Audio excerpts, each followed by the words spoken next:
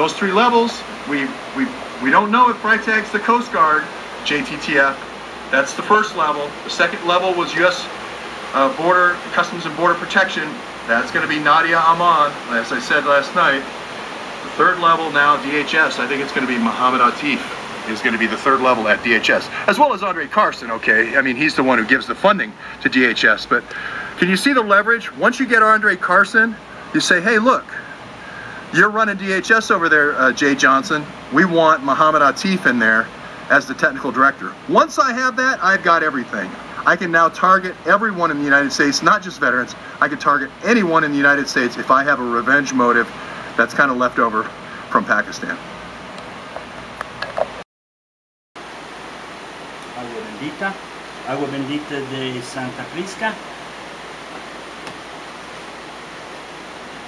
Enhorabuena.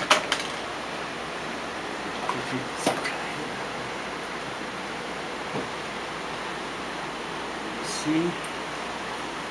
Así. Um, en, en el nombre de Dios, la Virgen María, todos los santos, I Ching. The six is in the relationship of correspondence to the nine in the fourth place, guest. Nine in the is.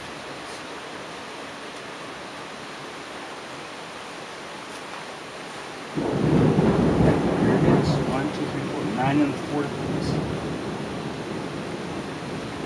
Nine, but it's seven.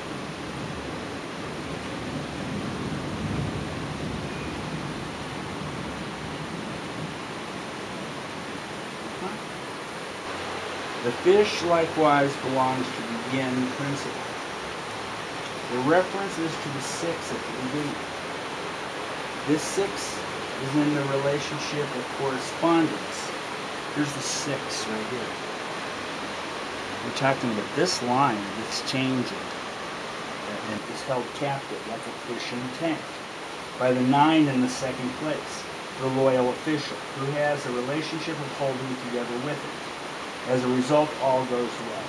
It is to be noted that the word here rendered by tannic includes the idea that the yin element is treated in a perfectly friendly way.